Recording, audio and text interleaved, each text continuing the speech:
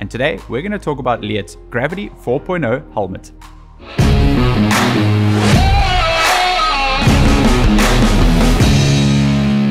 So, to start, let's talk about its construction. It's made from a lightweight polymer shell that has EPS and EPO impact foam built in for superior energy absorption. It features 22 different holes throughout its construction and you can remove the chin piece for extra ventilation straight onto the face.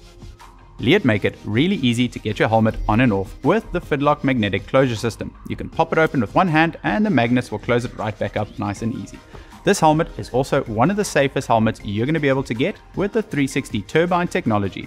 These little bad boys reduce the rotational impact forces going to your head if you crash, making it one of the safest helmets you can get. Gravity helmets are known to be a little bit dirtier than most, so this comes with a removable inner liner that is uh, anti-odor, moisture wicking, breathable. It's one of the nicest ones. Pop it out when you get home, throw it in the wash, and you'll have a nice clean helmet. The Gravity 4.0 weighs in at about 850 grams. It also comes in four different sizes, small, medium, large and extra large.